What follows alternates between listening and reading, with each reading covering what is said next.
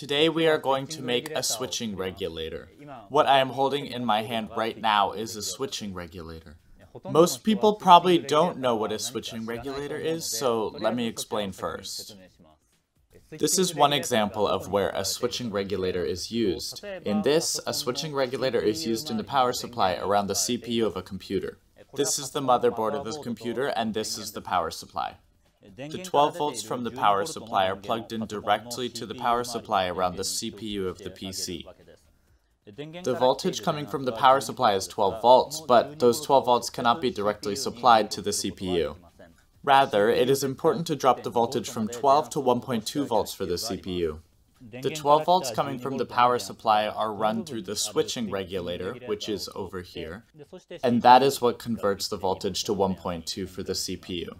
This is the configuration of the switching regulator around the CPU of the computer. There are two sets of MOSFETs in this section, an inductor right here, and an electrolytic capacitor for output. This is the input electrolytic capacitor. Through the use of the MOSFET, the 12 volts for the CPU can be reduced to 1.2 volts. The example I just showed used the motherboard for a desktop, but it's the exact same for a laptop. This is where the CPU is located, and if you flip it to the back, this is where the switching regulator is. The MOSFET and the electrolytic. This is a multi-layer ceramic capacitor and an inductor. Using these, I can reduce the voltage of the laptop's AC adapter down to 1.2 volts for the CPU. If you look at this circuit diagram, you can see how the switching regulators interact with the CPU. By taking the power supply's 12 volts and converting it using the MOSFET, the voltage can be reduced to be used by the CPU. The components used for this are the MOSFET, inductor, and capacitor. Before we talk about how this circuit works, let's start building the circuit and leave the complicated stuff for later on in the video. After designing the printed circuit board using EasyEDA, I will manufacture the printed circuit board using JLC PCB. So let's start the process of making the switching regulator. This is the printed circuit board for the switching regulator. Along with the printed circuit board, I also ordered a stencil, which will be used to apply the solder paste. The components used this time are only surface mount components, so the stencil will make it easier for us to solder them. These are the rest of the components. I bought these from a Chinese store called LCSC, which sells electronic components. Alright, let's apply the solder paste now. When applying solder paste, it's nice to have extra substrate. Place the boards like this and place the piece that you're going to apply the solder paste to in between them. Use something like masking tape or really any other tape to secure the surrounding boards down.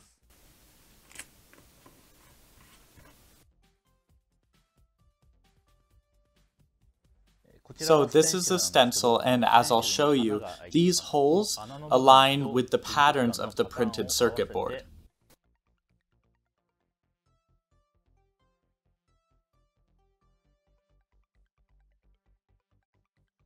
Now with the masking tape, we're going to stabilize just the top part of the stencil. This is so that we can remove the stencil right after applying the solder paste, which will make the process a lot easier.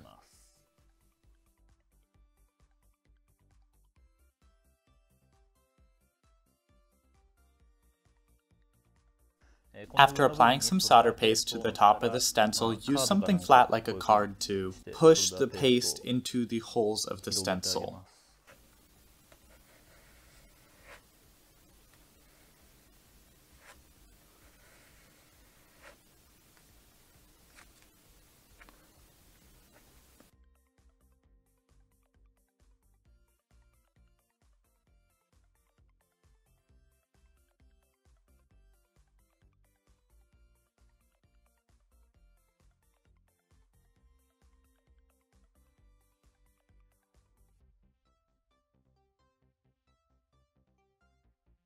This is how you apply solder paste.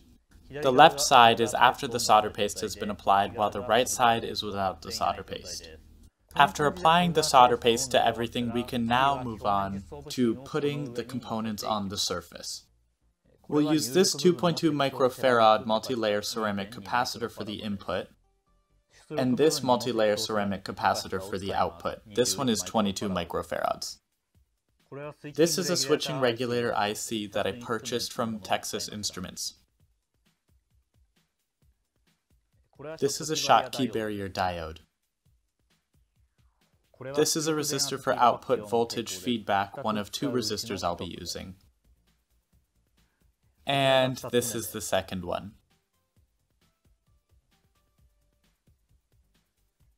This is the bootstrap capacitor. There's a set of these in the switching regulator which are used to supply voltage to the gate drive circuit.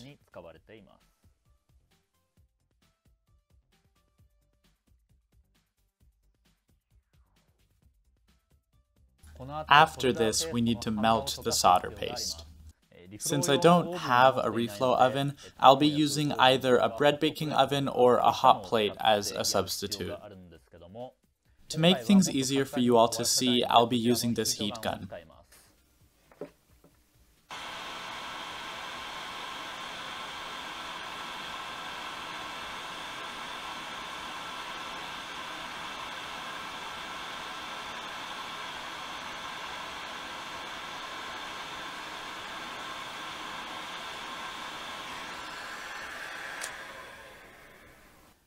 After reflowing the surface of the board, I'll put the inductor on the back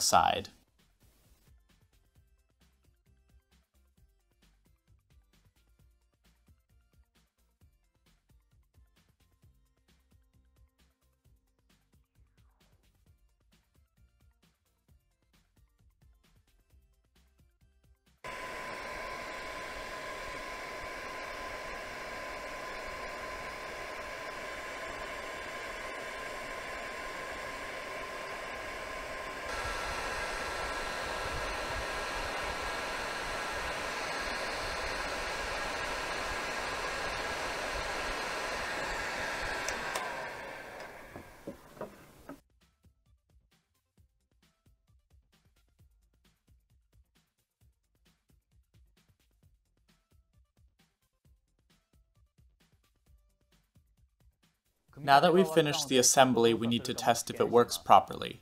This square on the diagram is the switching regulator we just assembled. Even if the input voltage of the switching regulator fluctuates, as long as the output voltage remains constant at 5 volts, it means the regulator is working properly. So I'm going to set the current to 0.5 amperes. Even if the input voltage fluctuates between 7 and 30 volts, the output should remain the same. So, let's go ahead and test it. Let's assemble the circuit on this breadboard. There's already a monolithic ceramic capacitor on the board, but I'm also going to add an electrolytic capacitor on the outside, a 10 ohm resistor, and also a probe to monitor the voltage.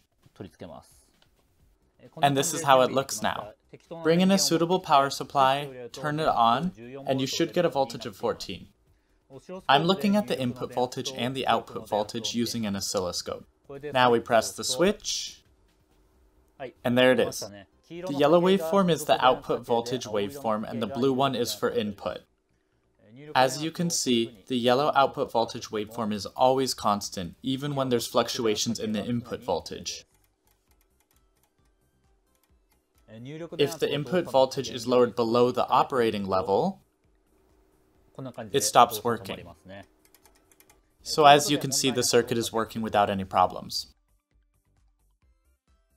This is the circuit we made today. In this video, I've been calling it a switching regulator, but it's actually called a step-down converter. This is a buck converter circuit. It has a MOSFET, a diode, inductor, and a capacitor.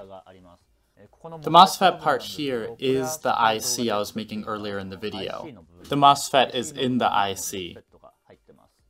The diode, inductor, and capacitor are made using external components. These step-down converters, as the name implies, reduce the voltage. It goes about doing so by flipping the switch of the MOSFET component in the circuit. The MOSFET acts like a switch. By turning it on and off, the voltage is controlled. And that's how the buck converter reduces the voltage. All you really have to do is turn this switch on and off. It has two operations. The first is where the switch is on and closed, and the second is where the switch is off and open. By the way, I got rid of the capacitor here because the mechanism is much too complicated with one. What happens when the switch is on is the current flows through the switch and the inductor. The voltage at both ends of the resistor increases like this. We'll call this period T on. Now, when this T on period is over, we enter mode 2, where the switch is open. The current still continues to flow in this inductor. The current in the inductor can't instantly be reduced to zero, so it flows through this diode, like this.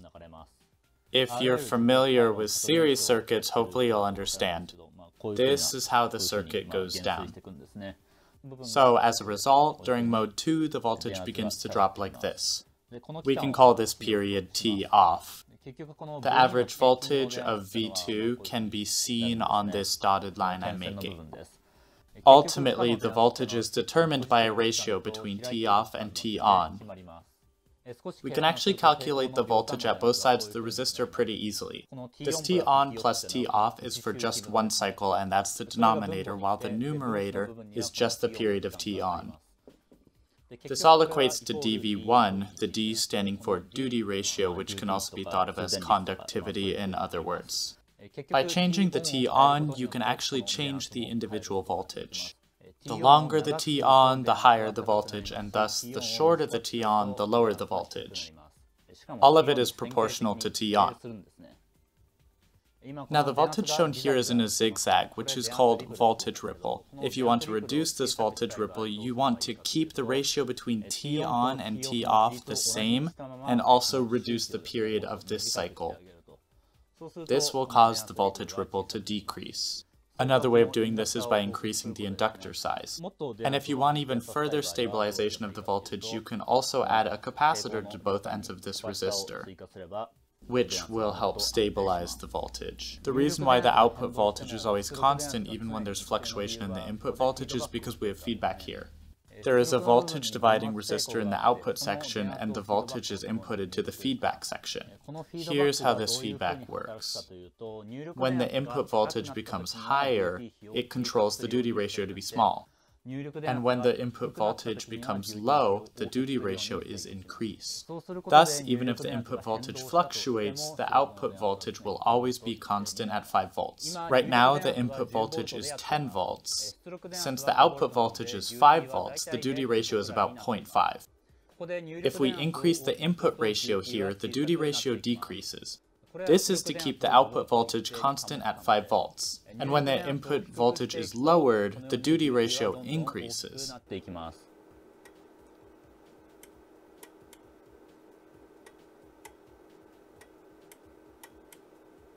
Looking at the datasheet, we can see that the switching frequency is fixed at 700 kHz, but in reality, it's 673 kHz. I guess it's also important to know how much ripple there is due to the output voltage. We are only looking at the voltage ripple component right now, but if you zoom in on this, you can see the voltage ripple. It's looking to be about 20 millivolts from peak to peak. This is a different circuit from a switching regulator called a linear regulator. It's a three-terminal regulator. Linear regulators also have a reputation for low noise, so let's take a look at the voltage ripple for these as well. And as you can see, there's hardly any voltage ripple at all. On this spectrum analyzer, looking at the frequency component of the voltage, I think you can see it more clearly. When measuring, make sure you use the appropriate metal case, and when you're actually taking the measurements, make sure you close the lid like this. The actual switching frequency is 0.7 megahertz, but you can see the spectrum even at that frequency. You can also see the spectrum for neighboring frequencies. So that means that there is a voltage ripple. Now let's see what happens in the case of a three-terminal regulator. In the case of a three-terminal regulator, there is almost no ripple. So, a three-terminal regulator is a clean power supply, with little or no voltage ripple. However, the loss of a three-terminal regulator is large, but that's the trade-off. So to recap, today I made a switching regulator, where everything is part of one IC. This means the MOSFET, the control circuit, and the protection circuit are all part of it, which makes it very convenient. You can also make it pretty easily. Now, the ripple of the switching regulator is a bit large, so you'll have to choose what you want to use it for, but I think it should be okay for electronic crafts. I like how it can be used for variable input voltage, and also compared to linear regulators, it generates less heat, which is nice.